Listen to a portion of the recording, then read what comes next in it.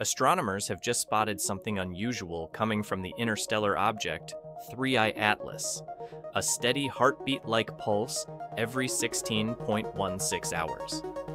This isn't random comet flickering. It's a precise rise and fall in brightness, triggered by jets of gas erupting as the object rotates. What makes this strange is how clean the signal is. The entire coma, the huge cloud around the object, Tri brightens and dims in perfect rhythm, something rarely seen in comets entering the inner solar system. Scientists think this may help reveal how interstellar ices behave when heated for the first time in millions of years. As 3I Atlas approaches its closest pass to Earth, researchers are watching closely to see whether the heartbeat strengthens, fades, or changes entirely. Every cycle could offer clues about the object's internal structure and the environment where it formed beyond our solar system. A repeating cosmic pulse from an object that came from another star system, this is one of the most intriguing discoveries of the year.